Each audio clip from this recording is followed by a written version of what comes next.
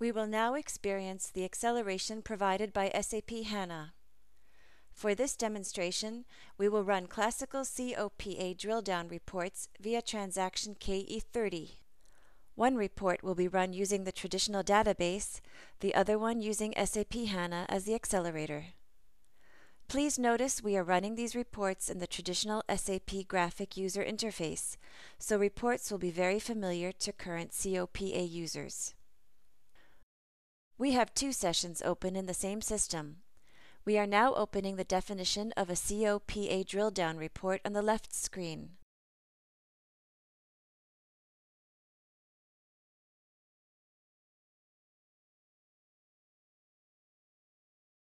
Now we are opening another report definition on the right screen.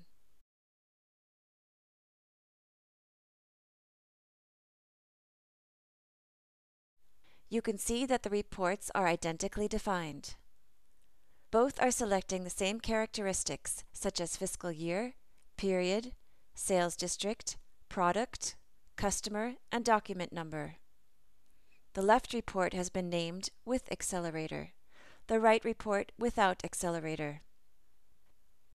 In the configuration of the COPA accelerator, the left report has been set to be accelerated. We can see that the key figures are identical between both reports as well as the selection criteria. Both reports are selecting a full year of data corresponding to dozens of millions of records.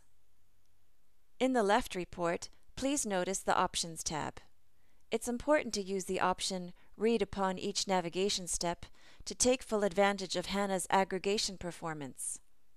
This option means that the reporting interface will query HANA on each change of the report's drill down. Let us now execute both reports. We start with the report on the right. We are executing this report as a classic drill down report. For this report, it will now take more than 15 minutes to select the necessary data from the traditional database. Let us now run the left report, accelerated by SAP HANA. We are executing this report with identical criteria. Please pay attention to the left bottom area where we will see a short message, Read data from SAP HANA. That's it. The report comes back in less than 5 seconds using SAP HANA to aggregate the numbers of a total year based on dozens of millions of line items. Please notice the second traditional report in the background still selecting data. The amazing performance of the accelerated report to the left applies to subsequent navigation steps in the report as well. Let us now focus on the data of October and analyze this month by sales district.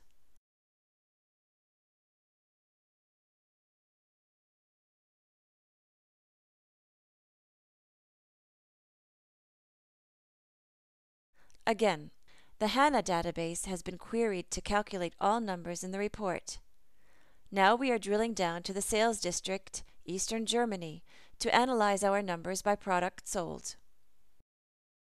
The light bulbs seem to be the top selling products, so we better understand who our customers are for this product.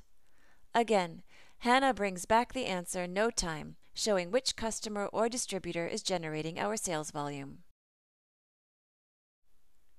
Now we will take advantage of being in the normal ERP context to go from the analytical information to the lowest level of transactional details. When going to line item details, the system warns you about possible long runtimes.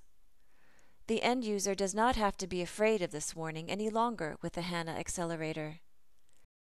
Here's the list of line items with the usual possibilities to jump into the document display and document flow.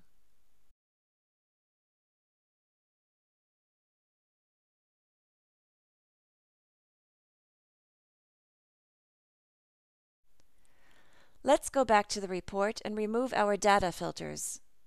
First, we are removing the filter on product. Now we see all customers for a certain sales district in the month of October. Next, we look at all sales districts.